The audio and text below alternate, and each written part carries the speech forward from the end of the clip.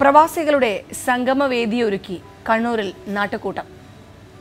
പുരാതനമായ വാഴവളപ്പിൽ ഉണ്ടേരകത്ത് കുടുംബ സംഗമമാണ് ഗൾഫ് പ്രവാസികളുടെ ഒത്തുചേരലിൽ ശ്രദ്ധേയമായത്. കടന്നപ്പള്ളി രാമചന്ദ്രൻ സംഗമം ഉദ്ഘാടനം ചെയ്തു.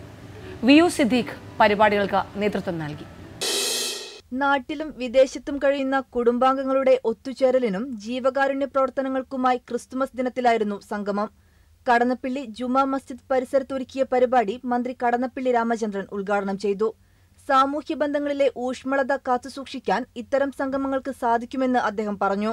നമ്മുടെ എല്ലാം ഈ വർത്തമാനകാലത്തെ മനസ്സ് പലതുകൊണ്ടും കലുഷിതമാണ് അതുകൊണ്ട് തന്നെ ആ സൗഹൃദത്തിന്റെയും സ്നേഹബന്ധത്തിന്റെയും രക്തബന്ധത്തെക്കാൾ വലുതായ സൗഹൃദ ബന്ധത്തിന്റെയും ദീപ്തമായ ഓർമ്മകളാണ് വാസ്തവത്തിൽ എന്നെ ധരിച്ചുകൊണ്ടിരിക്കുന്നത്.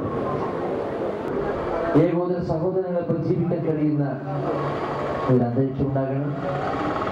അത് നിലനിർത്താൻ കഴിയും അതിന് നമ്മുടെ മനസ്സിനെ പാകമാക്കാനും പക്വതയുള്ളതാക്കുവാനും സഹിഷ്ണുതയിൽ കൊണ്ടുപോകാൻ കഴിയുന്ന ആത്മീയ മൂല്യങ്ങളും ദർശനങ്ങളുമാണ് എല്ലാ മതങ്ങളും ഉദ്ഘോഷിക്കുന്നതും പ്രചരിപ്പിക്കുന്നതും. ചെയർമാൻ സുബൈർ മാസ്റ്റർ അധ്യക്ഷത വഹിച്ചു. മൊയ്തു ഹാജി മുഖ്യപ്രഭാഷണം നടത്തി. വി യു ഷെരീഫ് അബ്ദുൾ റഹീം മൂസ ഹാജി മുസ്തഫ ഹംസ തുടങ്ങിയവർ നേതൃത്വം നൽകി. നാടിന്റെ വികസന പ്രവർത്തനങ്ങൾക്കും ജീവകാരുണ്യ പ്രവർത്തനങ്ങൾക്കും പ്രവാസികളുടെ പങ്കാളിത്തം ഉറപ്പാക്കാൻ സംഗമത്തിലൂടെ സാധിച്ചതായി ഭാരവാഹികൾ പറഞ്ഞു.